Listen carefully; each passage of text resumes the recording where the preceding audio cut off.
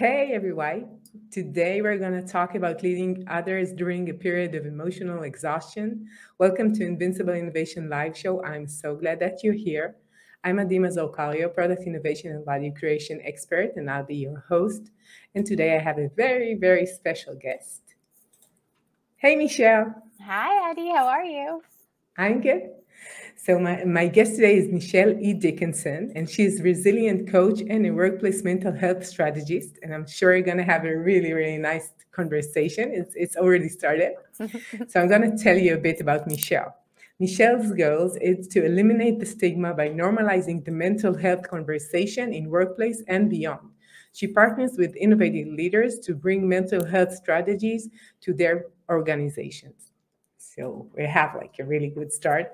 We're live on LinkedIn, YouTube, and Facebook, and you're so invited to join the discussion and we'd love to hear what you think. And now we can start.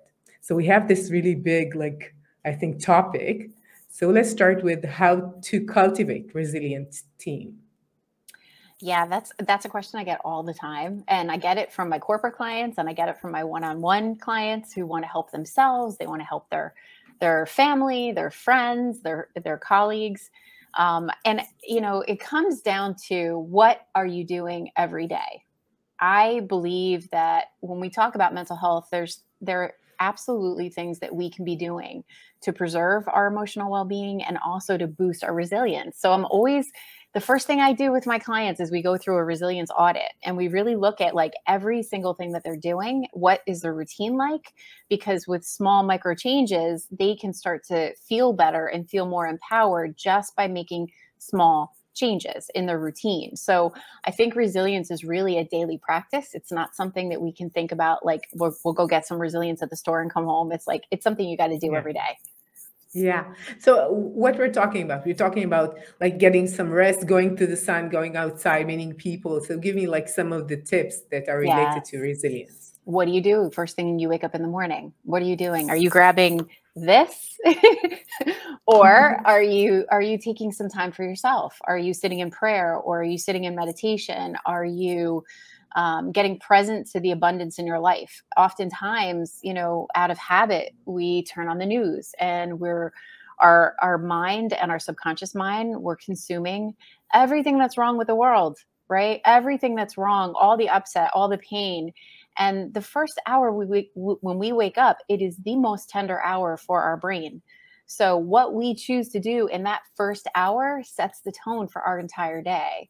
So, I always tell people, like, you know, sit for a few minutes or, you know, practice a gratitude strategy, do a, a journal entry, or, you know, go for a run or, or, or, do something physical for your body. Do something that is going to nourish yourself um, instead of deplete yourself already. So when we're talking about resilient teams, we're talking with a group of people that first take care of themselves yes. from the beginning, taking responsibility for their own resilience, and yes. then they could be a good team. It's not enough to have one leader, and that's enough. Right, exactly. But you have to have a leader, and I know we're going to talk about this. You have to have a leader that is modeling these these things as well, right? You can't you can't expect to have a resilient team when you don't even demonstrate, you know, that you um, care about your own well-being and you make the, the you have the personal boundaries in place to take care of yourself. Um, and you know it, it's it's important. You know individuals have to take accountability but leaders have to show what does that look like? And and how do i make sure that i show up the best version of myself for you and serve you as my as my staff yeah.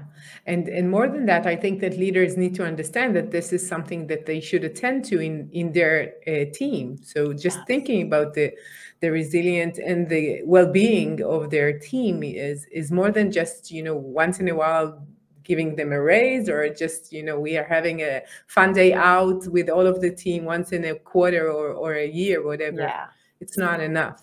Right. It it it definitely, you know, I say this to most of the women that I coach, I'm like, you cannot expect to undo compounded stress with a trip to the spa, with, you know, the birthday massage. Like, we have to take care of our emotional well-being and preserve our, our mental health and our resiliency through daily practices so that we don't find ourselves depleted and on the pathway to burnout and that's something that you know a lot of people are talking about now but it starts every single day, every morning when you wake up, and what your practices are.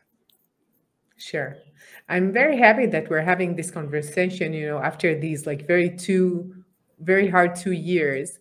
And according to Forbes, more than 69% of employees are experienced burnout symptoms while working from home. So what do you think companies should do? And, and should they say, okay, we're going back to the office and that's it? Yeah, it's interesting because I think when you look at the data, burnout was at its highest when everybody started to work from home. And you would have thought it would have been the other way around. But the problem was is people didn't have personal boundaries. They no longer had the bookends of the day where I drive to the office, I do my work, and then I drive home. It was mornings were blending into afternoons, we're blending into evenings, we're blending into, you know, after dinner time. So people were were wanting to be dedicated and in that they were re- like not having personal boundaries to be able to say i work from this time to this time. So that was why so many people were burning out. And i don't think and people are asking me this question quite frequently now it's not about where you work. Yes it's great to be in a community at work in the office connected to people and that's so healthy for our human nature we we are people people you know like we need to be around sure. others. I think what what it boils down to is are are your staff members equipped and aware, self-aware of what they need for themselves, regardless of where they're working, um, and are they are they taking that seriously and not, you know, giving up their power to an employer that's going to dictate whether or not you know they take care of themselves. I always say to my clients, like nobody's going to come along and say you have too much stress on your plate. Let me take that mm-hmm. away. So now you have some time to go take care of yourself. It doesn't work that way. We have to be a little bit selfish and a little bit, um, you know, uh, have non negotiable routines.